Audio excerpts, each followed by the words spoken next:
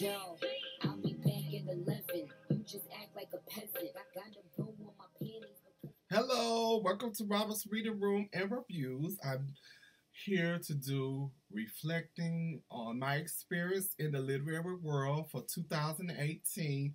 I want to just talk about, you know, books and literary and events that I attend and some who, well, I was trying to attend to unfortunately was either canceled or postponed. I'm not gonna say which one of those events was because I was really kind of disappointed because I was looking forward to going to two of them. One of them I haven't got the time off from work and ugh, I just got so mad and that person that was doing that event, well, let's just say fool me once, fool me twice. You won't get me a third time. And I'm gonna leave it right there. But I just want to say that 2018 has been a great year for me for its literary world. Um, I just, you know, I'm thankful for the people who support Robert's Reading Room and Reviews. I just want to say thank you. I want to give a thanks to Carrie Anderson, author Carrie Anderson. Please, if you have a chance, please go to her page, go to Amazon, Carrie Anderson, and purchase one of her books. Um, Secret and Lies, I highly recommend. I love that book. She has a series of, I think it's like 14 books about the Wallace family. She also had one she just dropped on my birthday last month on the 20th. Um, I, oh, it's, I think it's Into the Sunshine.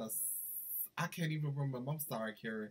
But it's on Amazon and please support her. Angie Liddell is another one who support me, and I thank you so much, Angie. You just don't know how much it means to me.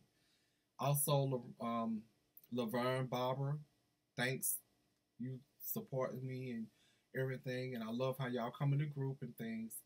And my literary twin, Diane, remember, she pushes me. She she's done so well with me and we we are literally twins. We really are twins you know and i love you dearly diane. You just don't know how much you mean coming into my life. Um for the events that i went to this year girl have you met? I left here on a friday.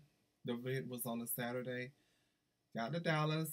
It was the weather was kind of hmm, it was okay. It was kind of warm that Friday, you know. Checked into my hotel and, and chilled a little bit. Went out to eat at Pappadeaux there. Mm. If you've never been to Pappadeaux, you need to go because I love me some Pappadeaux and they had one. I wasn't planning on going anywhere because they had a, a restaurant there in the um hotel, but the cook, I don't know what was going on with the cook schedule, but they wasn't downtime and I was hungry, so I got the um shuttle take me to get me something to eat. That Saturday morning, I was so hyped and uh, just so excited to go to Girl Have You Met to meet Love Belvin, JonBenét, B. Love, all the authors that was there. Mercy B, um, Bailey West was there, um, Alexandra Warren was there.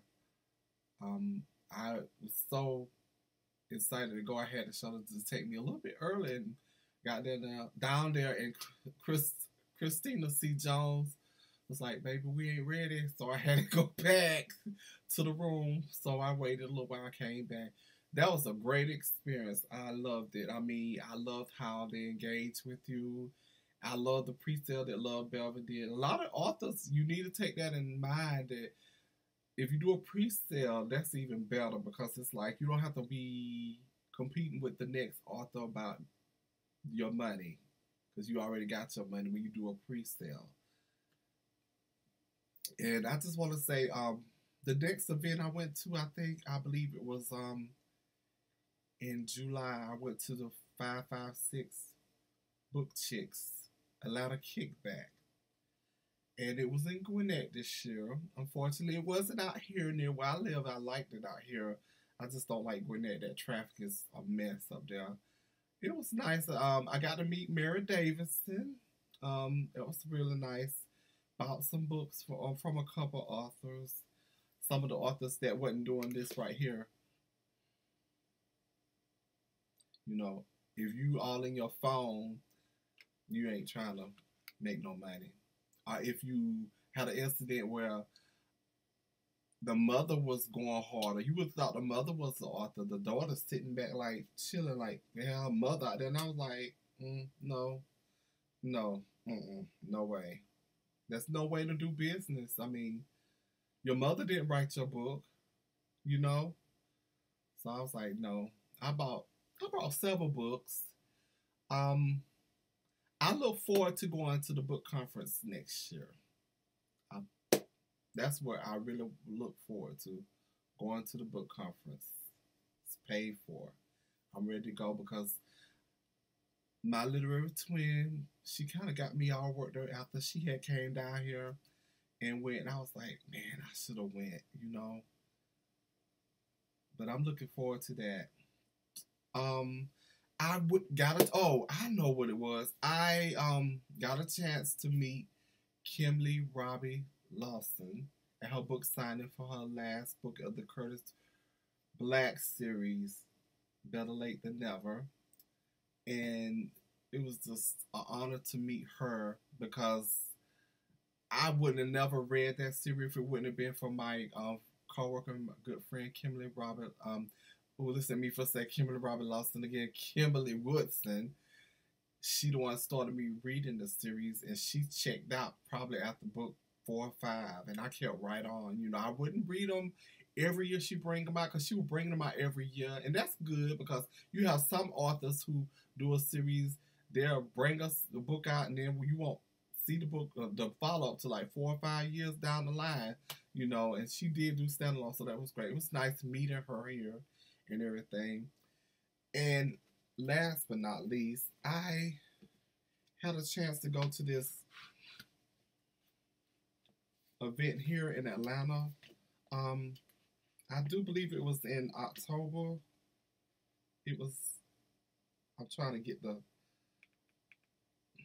the. T- I have the brochure right now. Sorry. Um. The book Social. It was here with uh, Shakir. Shakir Rashaan. Um. Marlon. Matt. I can't see. I always have a problem saying his name. Muskinsky. Muskinsky. And who was Destiny Carter was there also. These are the authors that was there, and also um, Kenya York. Kenya York was there. I I liked this one because it wasn't too many authors. I got to you know buy quite a few books from each author because it wasn't that many. It was like I want to say it was like one. It was four authors all together because one didn't show up or something happened, and I I don't want to share this, but I just feel like I need to share this. I remember coming in sitting at this social book social. This older lady was there. She had her book she asked me, was I author? And I was like, oh, no, I'm not here. I'm just here to support. I gave her my business card. I said, I'll review books. So she was like, well, this is my book. And, you know, I was curious. I was like, you know, um, how much is your book? It was like probably a thin book, probably no more than probably, I would say 50, 60 pages, if that. She said $20. I was like, I was like, you know, I didn't do that. But I'm like, she, is she for real? I mean, she's not a known author. She trying to charge about twenty dollars for a book that's not even 50 60 pages. No, thank you. So then she go up to the table and ask, well, cause she sick, cause she was informed wrong. At least either she lied one, cause she came back. She was so upset. She was like, well, they told me if you was trying to push your book to come here and you could sell your book here, and I was like, so she got mad and left with her husband. That was a trip. For 2019 though, I my goal was is to continue to read series because like I said, I fell in all of love a series because everybody's doing them and it's too much. But this year I stuck with it and I read several series and I fell back in love with series. So I looked to read more series Um, I I look forward to reading new authors. Um, I still haven't read Blacktop, and I have quite a few of his books. Christina Jones, I look forward to reading. I got some of her books. Alexandra Warren, got some of her books. Alexandria House, I read just read her um, Baby It's Christmas. That's a short story, but I look forward to reading more a full novel by her. Um, more biographies because, like I said, that Bobby Brown biography really took the cake because I wasn't expecting to enjoy that book like I did. I really enjoyed that book. I just want to say, last but not least, the highlight of 2018 is meeting my literary twin, Diane Member here. She flew in, I met her, I picked her up at the airport. We went out to eat at Bonefish Grill, one of my favorite restaurants, and just talked and just had a nice lunch and a good time together. I just want to say, Diane, I look forward to you to come down here next year and just hanging with you during the book conference. Only this time, I'm gonna be there with you. So I just want to thank you for watching this video and just looking for great things in 2019. I want to wish everyone a happy early new year and an Thanks for watching and have a good night. Please be safe out there on the streets, people. You know, it's crazy people out there and fireworks and everything going on. So please be safe tonight. Until next time, my next review. If you're at home, you don't have nothing to do, you know, this is what I recommend. Read a book. Until next time, bye.